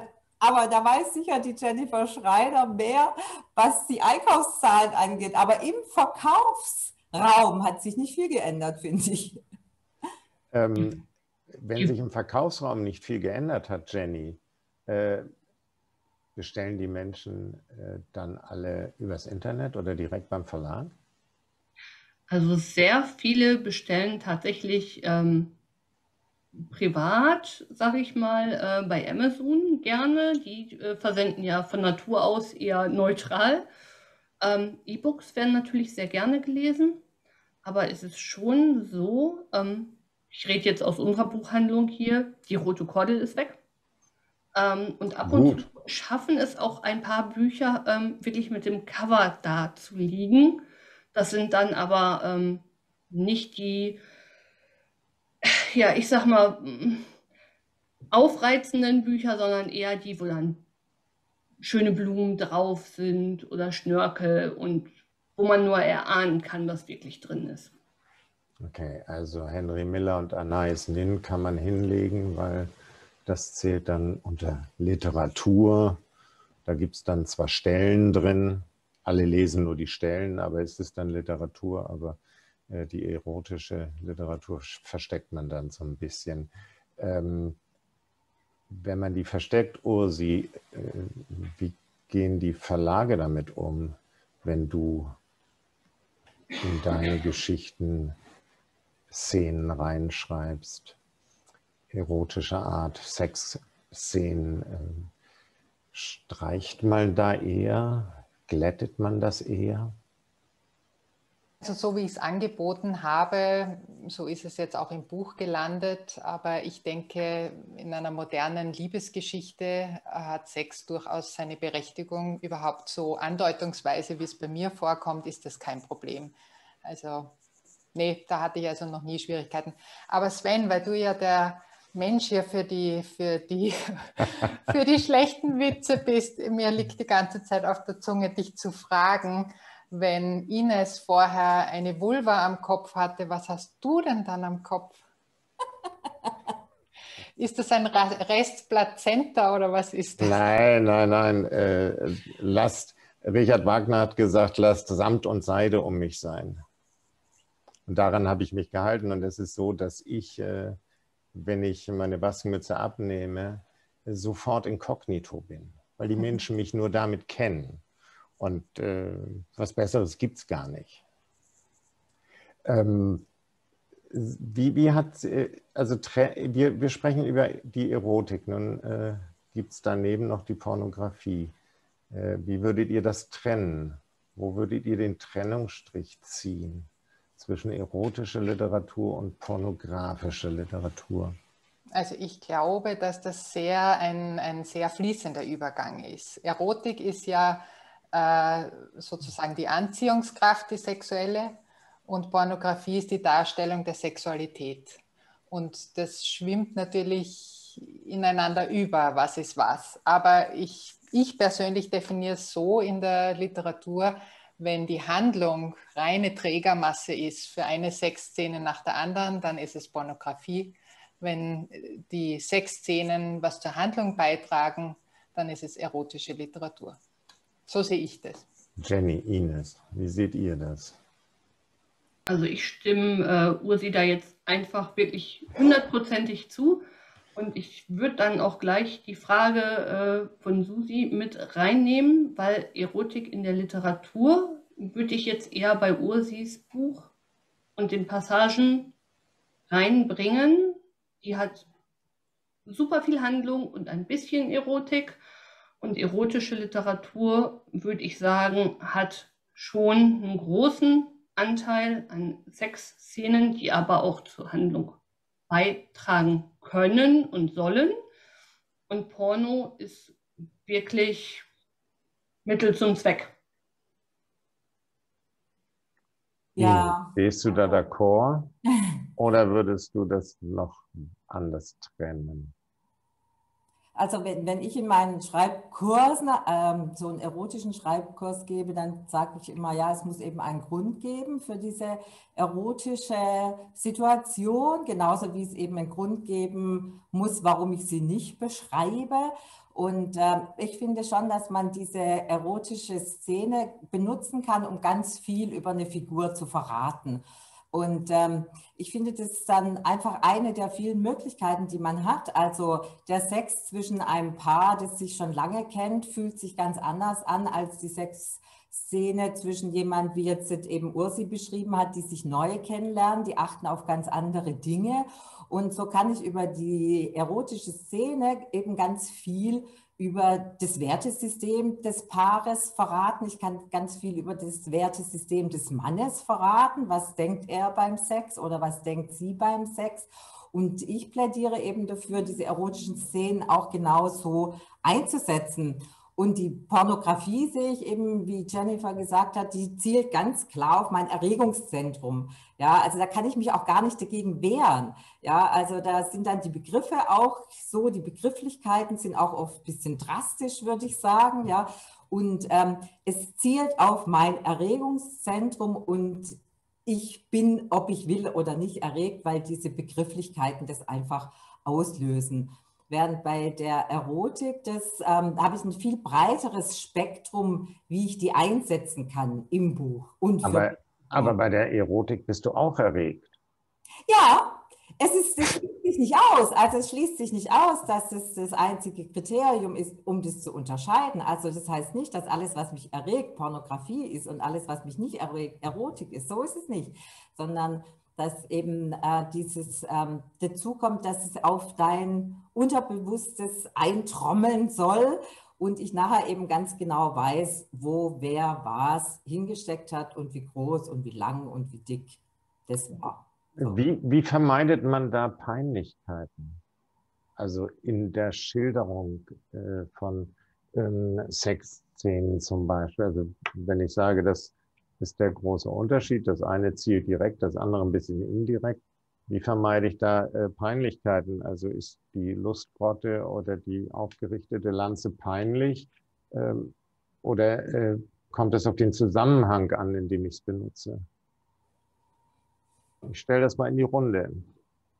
Also ich glaube, das kann man überhaupt nicht verhindern, dass irgendjemandem das peinlich ist, wenn er das liest oder sieht, das liest, weil jedem ist ja was anderes peinlich. Also es kann auch in der, in der, an der Situation liegen, warum ich das in diesem Moment als peinlich empfinde. Also ich habe mal an einem, auch einem Schreibworkshop, wo es um äh, Erotikszenen ging, teilgenommen. Und äh, da wurden die schönsten Erotikszenen vorgelesen.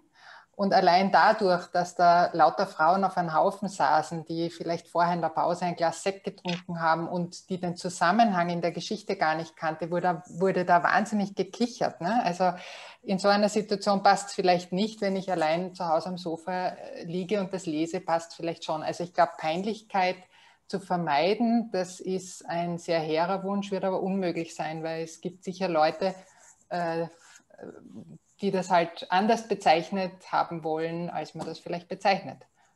Äh, Ines, du gibst ja auch Schreibwerkstätten. Wie, ist das da mit der Peinlichkeit äh, der Lustgrotte? Ja, also es, es gibt ganz viele unterschiedliche Sachen, die ich jetzt da unbedingt dazu sagen möchte. Also zum einen mal gibt nur es... zu, nur zu, wir haben Zeit bis... es gibt ja diesen Bad Sex Fiction Award. Ich weiß nicht, ob ihr da von dem mal gehört habt. Der Bad Sex Fiction Award wird von einer angesehenen Literaturzeitschrift in England verliehen. Und er geht nur an große Autoren, also an Autoren, die sehr bekannt sind und die eben in ihren sechs Szenen jämmerlich versagt haben, wo also das, äh, der, der Orgasmus irgendwie beschrieben wird als ein weiches Ei oder, oder das Gehirn, das in dem Moment zum weichen Ei wird oder was weiß ich was, was man sich da für Metaphern überlegt.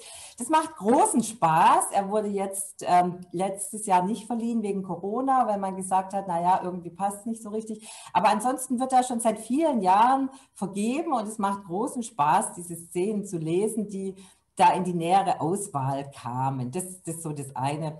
Und das andere ist, dass ich sage, ähm, wie gesagt, von der Figur her denken. Angenommen, ich habe einen 50-, 60-jährigen Orientalistikprofessor und er spricht dann von der Joni oder von ähm, dem Schatzkästlein, das er aufbricht oder was, dann passt es vielleicht. Habe ich diesen jungen Kerl, wie hieß er bei dir, Ursi?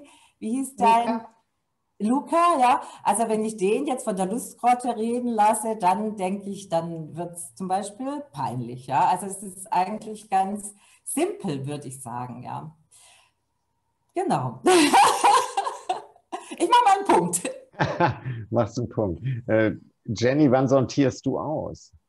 Äh, mit der Peinlichkeit, wenn es nicht passt? Also ich sag mal, Peinlichkeit ist auch so ein, so ein fließender Begriff. Ich habe einmal einen Text gelesen, wo sie an seinem Schwanz wie an einem Lutscher lutschte. Und da hatte ich Bilder im Kopf, die, wo die wollte ich nicht. Und das ist, das Buch, muss ich zugeben, ist tatsächlich veröffentlicht worden. Nicht bei mir, es war ein Bestseller. Die Autorin ist mittlerweile super bekannt in Deutschland. Ähm, der Lutscher ist auch drin geblieben. Mir hat es überhaupt nicht gefallen. Aber ich habe es gerade schon gesagt, das Wort Schwanz zum Beispiel, habe ich vor zehn Jahren gesagt, kommt mir in kein Buch. Und das konntest du durchhalten? Nein, das konnte ich kein bisschen durchhalten. Mittlerweile denke ich mir, Schwanz Egal. ist Egal. halt ein Wort. Ist halt ein Wort. Ähm, wer sind eigentlich die, also diejenigen, die es lesen? Sind es eher Frauen oder eher Männer? Ähm, ich würde sagen eher Frauen bei den erotischen Romanen oder den Roman mit Erotik. Und bei Pornografie muss ich zugeben, ist es, ähm, sind es dann doch eher die Männer, die nicht so gerne Pornos gucken wollen. Oder hm. Also ich kann ja das auf meinem Instagram-Feed nachgucken, da kann man ja schauen, wer einem so folgt, ja, und das sind also auf jeden Fall äh, vom Verhältnis her 70 Prozent Frauen und 30 Prozent Männer. Und vom Alter her ist es so zwischen 30 und 60, ja, also das finde ich ist schon mal eine Aussage. Und dann ist, ist glaube generell die Aussage, dass Frauen eben lieber erotische Literatur lesen als äh, Pornos gucken, weil sie da eben besser dosieren können, was, was sie jetzt zu Ende lesen wollen, was sie überspringen möchten, was sie vielleicht nochmal lesen möchten. Also man hat da eben sein eigenes Tempo, mit dem man sich da eben drauf einlassen kann. Und von daher ist wahrscheinlich die Zielgruppe unter den Frauen einfach größer oder die Leserschaft einfach größer. Im Chat wurde die Frage gestellt, ähm, hat, es, ähm, hat die Pandemie Auswirkungen auf den Verkauf? Ähm, ist es mehr geworden? Ist es weniger geworden? Oder kann man das gar nicht, gar nicht so feststellen? Also ich glaube, man muss da jetzt wahrscheinlich mein Buch ein bisschen separat betrachten, weil es ja nicht so eine explizite erotische Literatur ist, sondern das fällt unter dem Namen Feelgood-Roman. Und die Feelgood-Romane oder überhaupt die positiven Romane, die Unterhaltungsliteratur hat äh, in der Pandemie ein großes Plus erfahren. Aber wie das jetzt für die Art ist, die Jenny und Ines schreiben, das müsst ihr beantworten. Ja, Ines. Ja, also ich habe meine Abrechnung noch nicht bekommen. da hat ja der Verlag noch Zeit, paar, paar Tage, ja, ich kann es nicht sagen. Und äh, Jennifer, weiß nicht, wie sieht es bei deinen Abverkäufen aus?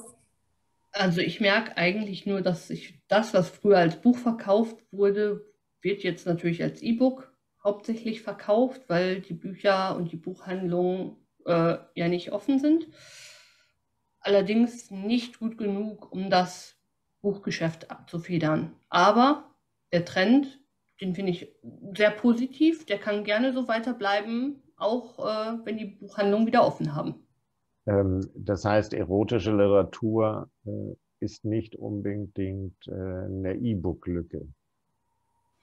Also nicht unbedingt der Markt für, die, für den E-Book-Markt. Also ich glaube schon, dass es sehr E-Book-lastig mhm. ist eigentlich, aber bin auch ein bisschen anders, weil ich nicht nur über den Buchhandel verkaufe, ich verkaufe halt wirklich in den Erotikfachgeschäften. Und die haben zu. Die haben zu, ja. Blöd. Ähm, ja, also bei, bei, bei, dem einen Buch Perle und Perle, da habe ich ja über ein paar Jahre jetzt schon die Abrechnung, da ist es fast 50-50. Also dann genauso viele E-Books verkauft wie ähm, Taschenbücher. Ja, und ähm, bei dem äh, Ratgeber ist tatsächlich so, dass der E-Book-Verkauf höher ist. Also hat mich auch überrascht, dass er da eben höher ist. Aber jetzt bei den Romanen kann ich sagen, dass es äh, das, was ich bislang abgerechnet bekommen habe, immer so bei 50-50 lag. Dass ich dann keinen Trend habe. Mhm. Ähm, Ursi, du sagtest eben äh, bei dem Schreibworkshop, es waren Frauen. Ähm, sind es mehrheitlich Frauen, die erotische Literatur schreiben? Was denkst du? Hm, also das kann ich nicht beantworten. Bei dem Schreibworkshop war es deshalb so, weil das von Delia angeboten worden okay. ist. Das ist der deutschsprachige Verband für Liebesromanautorinnen und Autoren. Und das sind fast nur Frauen Mitglieder. Also bei den Liebesromanen ist der große Anteil äh, schon, sind schon Frauen, ja. Also Frauen, die unter, also nicht Männer, die unter dem Frauennamen veröffentlichen, äh, weil sie dadurch besser zu verkaufen sind, sondern. Ja, ich glaube, es ist tatsächlich umgekehrt. Ne? Also wenn dann doch einmal ein Mann einen Liebesroman schreibt, dann verkauft sich der wesentlich besser als unserer. okay, ich sollte umsatteln. Ja, unbedingt, Sven. ähm, ja, wobei ich glaube, ich kann, das ist nicht mein Ding. Äh, mir steht ja der Selbstmord näher. Ähm, Ines, das eine schließt das andere ja nicht aus. ähm, Ines, du gibst auch Schreibwerkstätten. Wie ist, da, wie ist das da? Ist da der Anteil der Frauen größer? Äh, schreiben eher Frauen erotische Literatur?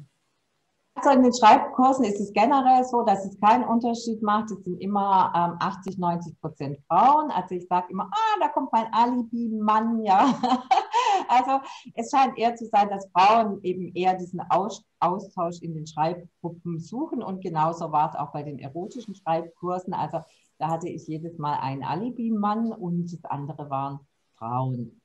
Vielleicht ist es eher der Weg, den Frauen gehen, dass sie sagen, ich gehe in eine Schreibgruppe oder ich gehe in eine Schreibwerkstatt und Männer sind da eben generell weniger vertreten. Vielleicht beim anderen Genre, ich weiß es nicht, ob äh, ich habe jetzt noch nie einen Krimi ähm, Schreibworkshop gegeben, sondern eben halt diese klassischen Romankurse oder klassisch diese kreativen Schreiben oder erotische Schreiben oder biografische Schreiben. Beim biografischen Schreiben ist der Anteil der Männer wiederum ein bisschen höher, weil die Männer eben gerne ihre Biografie und ihr tolles Leben schreiben. So, sowieso, sowieso. Also, das kann man schon eindeutig sagen, ja. Genau. Wie, Aber, wie, was, darf ich noch ganz kurz, weil es war noch so eine Frage im, im Chat, ich weiß nicht, wolltest du auf die noch kommen mit diesen ähm, warum eben diese Überwältigungsfantasien so stark nachgefragt werden. Die stand Wir, lass, uns, lass uns zu der Frage gleich kommen vielleicht. Ich wollte Jenny noch mal eben kurz äh, die Mehrzahl der Frauen äh, im, in der Schreibwerkstatt, also die Mehrzahl der Teilnehmerinnen sind Frauen. Wie, wie sieht es bei den Einsendungen aus? Sind das äh, in der Mehrzahl auch da, das, was bei dir auf dem Schreibtisch im Verlag landet, Frauen?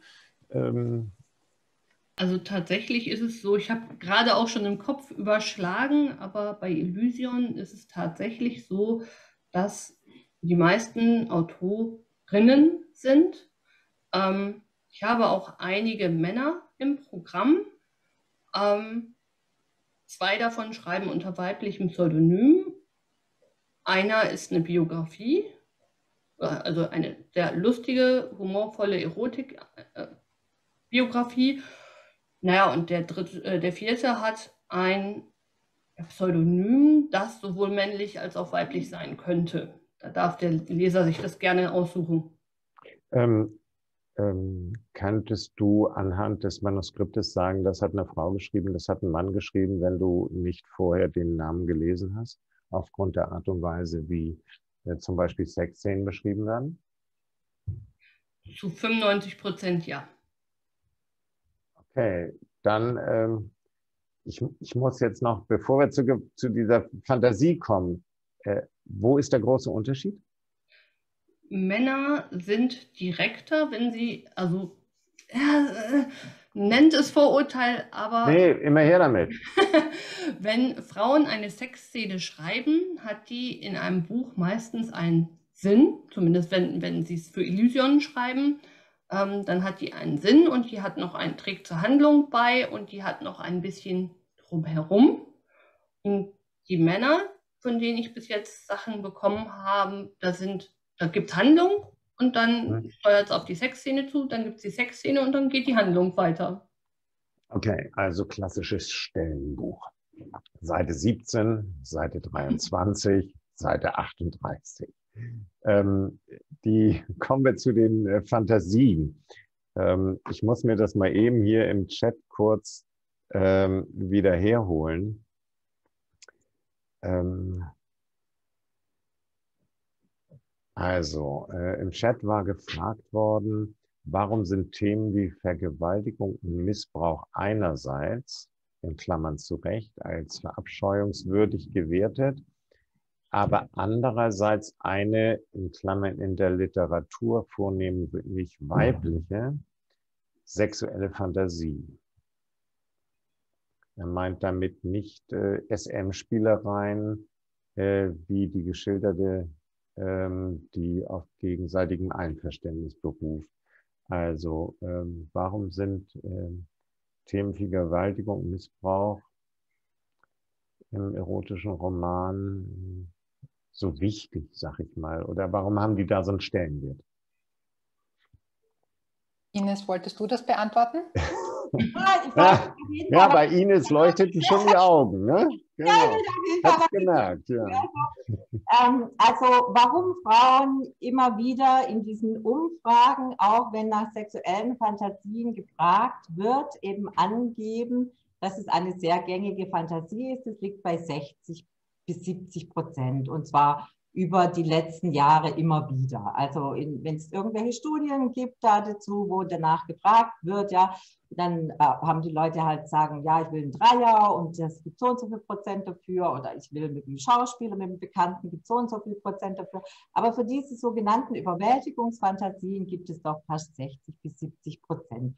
Und da ist jetzt doch die Frage, ja, ähm, ist es jetzt ähm, gesellschaftlich quasi begründet, ja, dass wir eben eine ähm, gesellschaftliche Form haben, in der es Frauen eben nur möglich ist, Lust zu empfinden, wenn sie sich in der Überwältigung befinden, weil eben eine offensive weibliche Lust extrem abgelehnt wird und über Jahrhunderte abgelehnt wurde. Also wir haben die Schlampe, wir haben die Nymphomanin, wir haben die Hure, wir haben das über Jahrhunderte dass wir eben den Frauen eine eigene Sexualität absprechen und sie eben in die passive Lage manövriert haben. Und jetzt wundern wir uns sozusagen, dass ähm, dieser Topos so aktuell ist. Und ähm, es hat überhaupt nichts mit Missbrauchsfantasien oder sonst irgendwas zu tun, sondern also das ist natürlich ganz, ganz, ganz, ganz, ganz klar voneinander abzugrenzen dass wenn ich mir vorstelle, dass, ähm, keine Ahnung was, also diese Fantasien sind übrigens auch zeitbedingt. Also wir haben die Rocker-Fantasien in den 50er, 60er Jahren gehabt. Ja.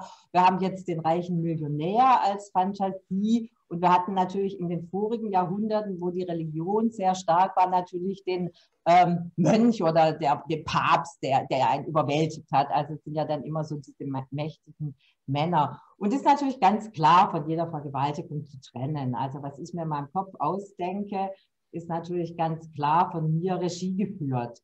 Und es ist die Frage, ob es nicht die Frage ist nach einer Art Selbstermächtigung. Also ich bin so machtvoll und meine Sexualität ist so machtvoll, dass ich diesen Aggressor quasi in den Griff bekomme, indem ich mit ihm diese Fantasie durchspiele, die ja dann zum Schluss für beide sehr befriedigend ausgeht. Also man muss da wahnsinnig differenzieren, um was es tatsächlich dann geht in diesen Szenen. Das ist mein ähm, Beitrag. Ja, ähm, inwiefern, Ursi, funktionieren solche Dinge im Feelgood-Roman? Überhaupt nicht. Also das hat in einem Feelgood-Roman überhaupt nichts verloren. Also, Wo sind ähm, da die Grenzen? Wie weit kannst du da gehen? Ähm, also wie es der Name schon sagt, Feelgood, da geht es um das Wohlfühlen.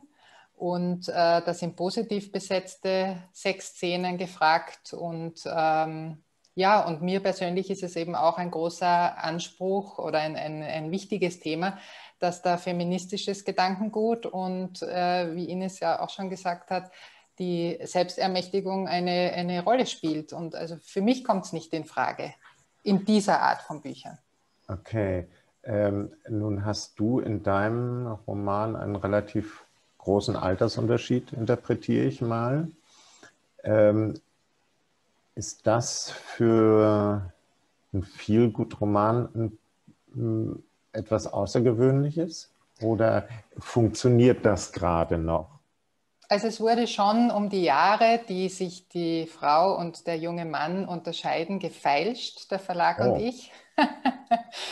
ja, das schon, aber also doch, das funktioniert äh, einfach deshalb, weil es ja auch eine, eine sehr moderne Frage ist, dürfen das nur Männer oder dürfen das auch Frauen?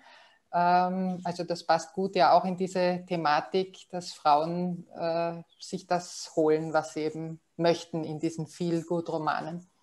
Äh, inwiefern ist das bei erotischer Literatur ein Problem oder ähm, vielleicht gerade etwas Besonderes, die Frage großer Altersunterschiede. Ines, Jenny, spielt das überhaupt eine Rolle, Altersunterschiede?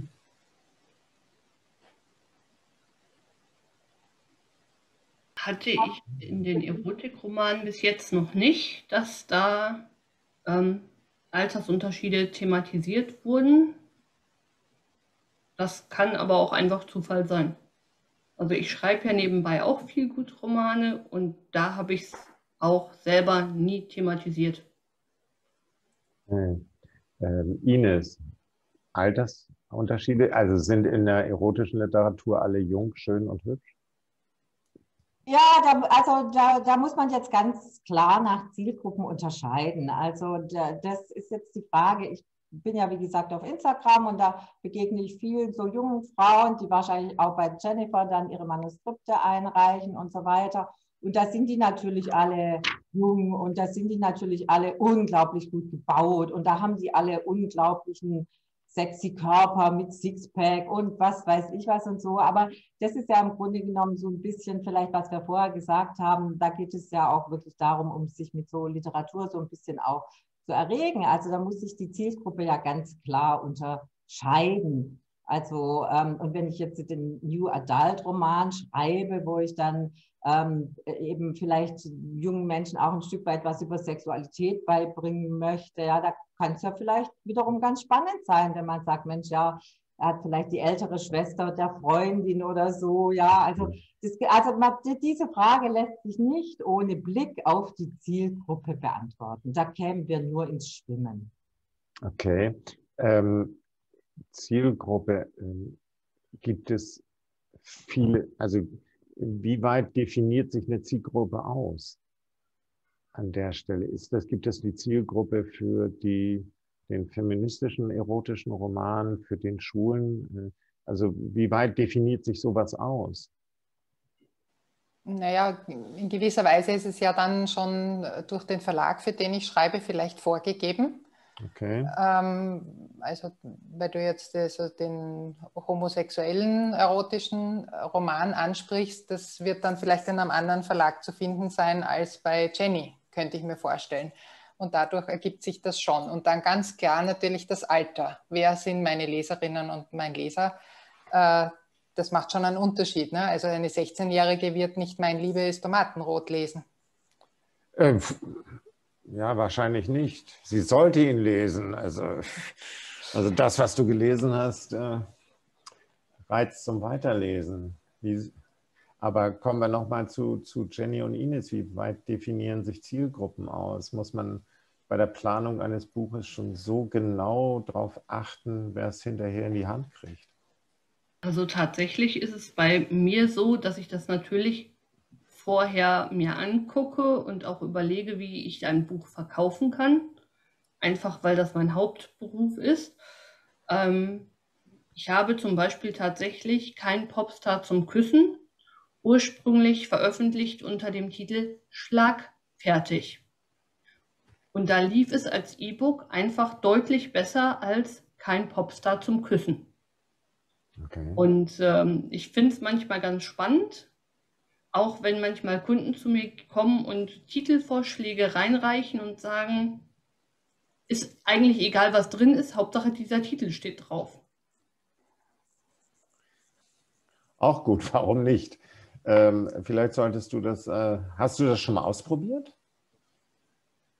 Mit dem Titel draufstehen? Ja habe ich tatsächlich, aber den Titel, äh, muss ich sagen, würde ich nicht mal in einer Ü18-Sendung nennen wollen. Ich musste sogar anrufen und fragen, ob man den benutzen darf. Okay, okay. Ähm, was bei mir jetzt noch auf dem Zettel steht, äh, wir, glaube ich, sind irgendwann äh, bei den zwei Stunden oder anderthalb. Nein, ähm, Erotik und erotische Literatur und Dialekt. Funktioniert das oder geht das gar nicht? Ja. ja, also ich fürchte fast, das hat einen Hang zur Komik, ne? zur Ungewollten. ja, Ines? Ja, auf jeden Fall. Ja, also ich habe mal, ähm, also ich habe auch ein bisschen Sprechtraining gemacht, ja, und äh, ich bin ja Schwäbin, ich, das hört man manchmal. Und wenn man dann die Lederpeitsche auspackt, ja, mit dem Leder ein bisschen draufklopft und so, gell? ich denke, dann wird es schon ganz interessant. und ich habe auch mal ähm, so im Kabarett übrigens, gab es mal so, dass jemand ähm, so erotische Stellen in verschiedenen Dialekten gelesen hat. Du schmeißt dich weg vor Lachen, ja. Also es ist so unglaublich komisch. Ich glaube, dass wir dann eben im Humor landen, was ja auch nicht verkehrt ist, aber vielleicht nicht ganz zielführend. Jennifer. Nicht, nicht zielführend, Jennifer. Ja, da sind wir wieder bei der Peinlichkeit angelangt. Also wir sind ja nach Sachsen gezogen aus dem schönen Ruhrgebiet. Und wenn ähm, Sachsen versuchen, mit einem zu flirten oder erotisch zu werden, das klingt schon lustig. Okay, also äh, man sollte den Dialekt äh, aus dem erotischen Roman äh, rausstreichen und sich gar nicht erst auf dieses äh, Glatteis begeben, wenn ich das so richtig verstehe. Ähm, ich äh, sprach vorhin diese Frage an, äh, die Zuschauer, die fragen, haben sie das alles selbst erlebt? Ähm, was ja irgendwie gar nicht geht. Ähm, wie ist das eigentlich? Ähm, also wir lesen ja jetzt hier vor der Kamera. Ihr lest vor der Kamera. Wir reden vor der Kamera. Das heißt, wir, wir sehen die Zuschauer nicht. Wir kriegen die Reaktion im Chat mit. Aber das ist ja noch was anderes. Wie ist das eigentlich, äh, erotische Szenen live vor Publikum zu lesen? Also ich habe mal mit Regula Fenske zusammen einen Abend gemacht, wo wir erotische Szenen gelesen haben. Also ich fand das sehr spannend, aber ähm, wir reden nicht über mich. Die Frage an euch, wie ist das so, äh, plötzlich als waren fremde Texte. Ne? So fremde Texte lesen ist einfach, aber die eigenen, äh, mit den eigenen Texten plötzlich vom Publikum zu lesen. Wie ist das? Was ist das schwierig? Ist das einfach? Was passiert da? Also ich muss sagen, dass ich jetzt zum ersten Mal diese Stelle gelesen habe. Ich äh, wähle die sonst nicht aus, sondern eben andere Stellen aus dem Buch, wo es nicht unbedingt um Erotik geht. Ähm, aber an diesem Abend war es ja jedem, der jetzt da im Publikum sitzt und uns allen klar, um was es geht. Ich möchte aber nicht bei einer normalen Lesung jemanden dann dadurch äh, überfordern, dass er oder sie nicht damit gerechnet hat.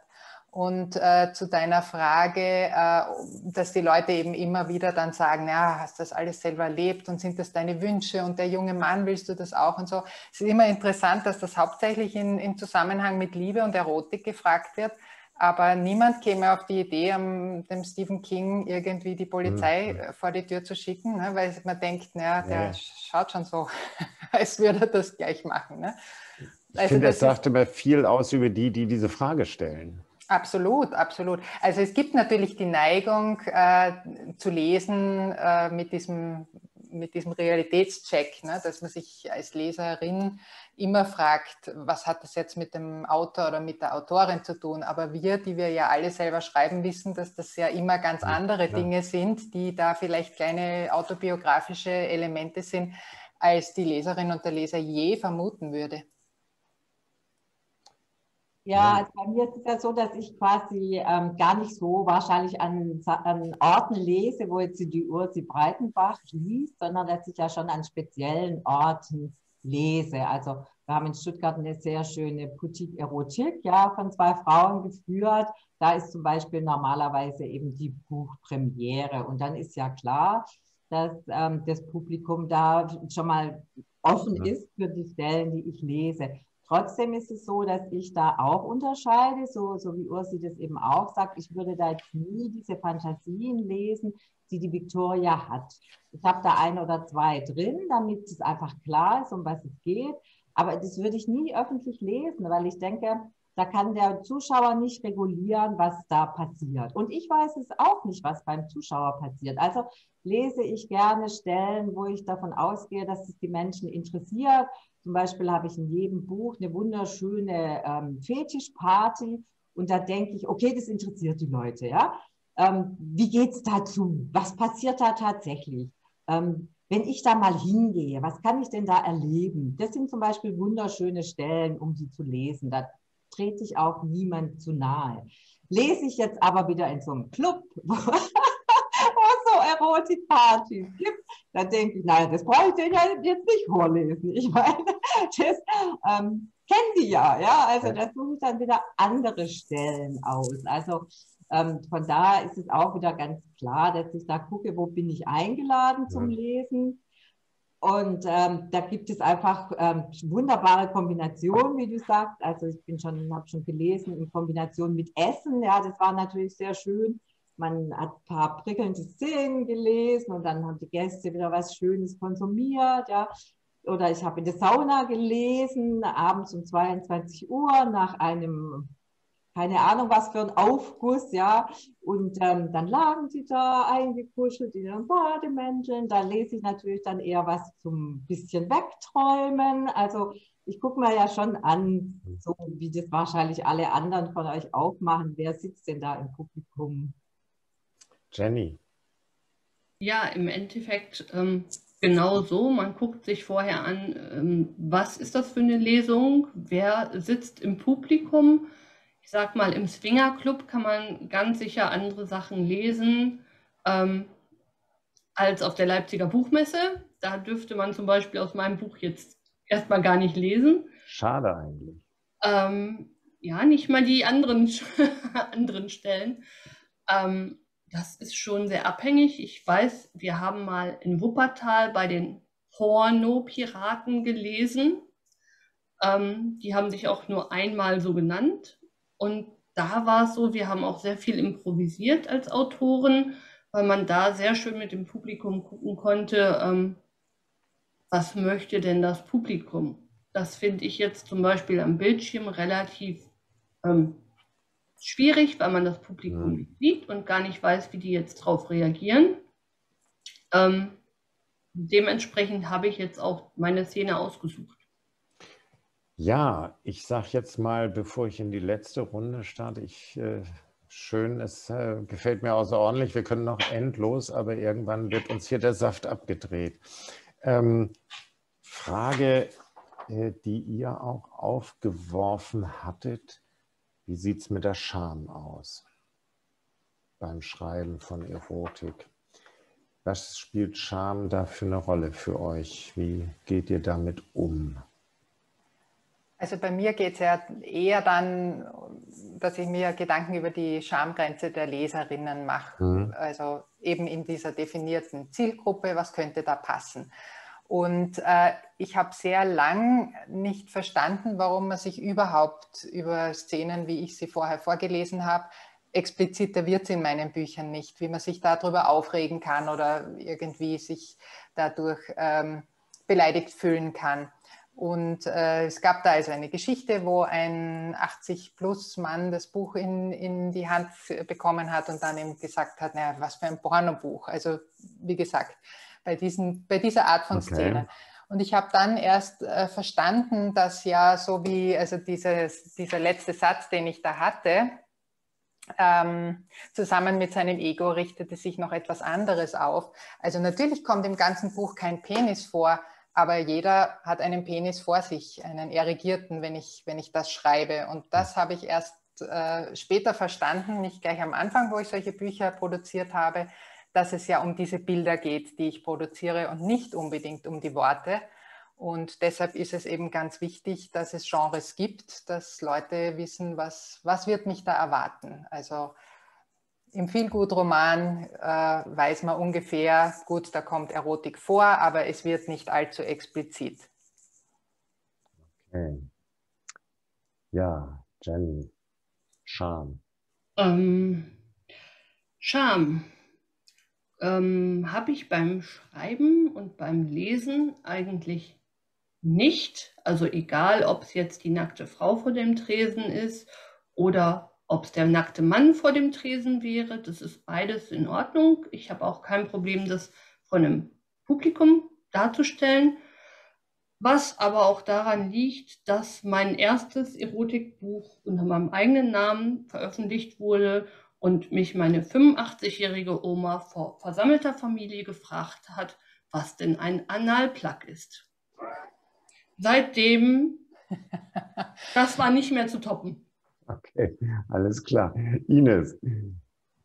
Ja, also wenn ich jetzt so einen erotischen Schreibkurs gebe, dann spreche ich das schon auch an, ja. Und da gibt es ja auch so Hilfswerkzeuge. Ähm, ich weiß nicht, ob ihr das kennt, dieses klassische Cluster, ja, was wir ja beim äh, kreativen Schreiben machen. Und ähm, ich fordere dann schon immer dazu auf, dass die Menschen, die Erotik schreiben, so ein Cluster machen, einfach für sich selbst, um rauszufinden, ähm, habe ich diese Schamgrenze und wo liegt die?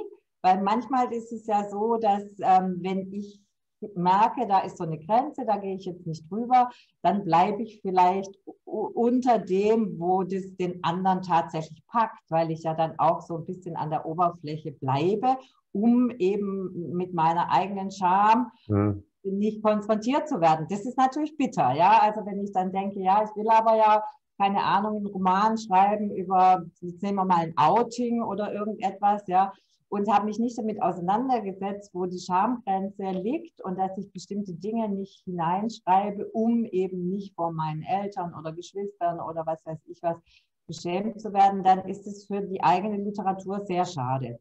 Also würde ich sagen, ist es auf jeden Fall ein Thema.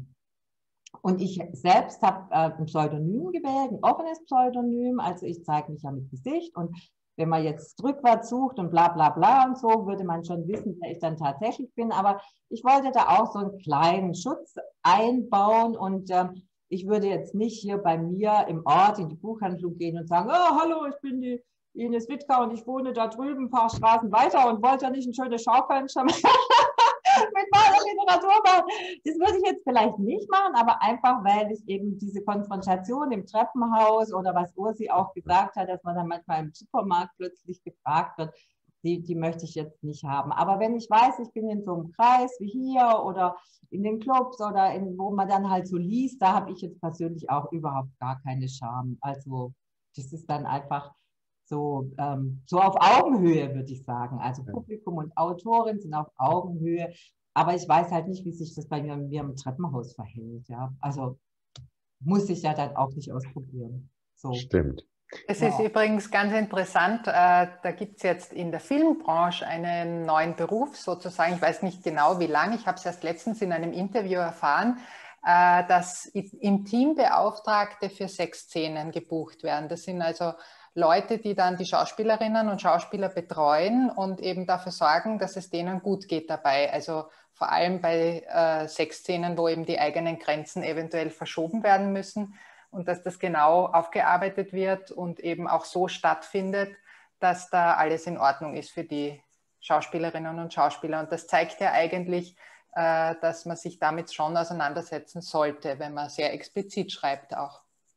Also ähm, ich komme ja vom Theater und äh, wie gesagt, äh, Kussszenen äh, in Stücken sind schon auch immer eine Herausforderung, weil man immer nicht weiß, wie geht das Gegenüber ähm, damit um. Ähm, und das ist auch immer da schon ein Herantasten. Ne? Wie weit darf ich gehen? Und so. Ja.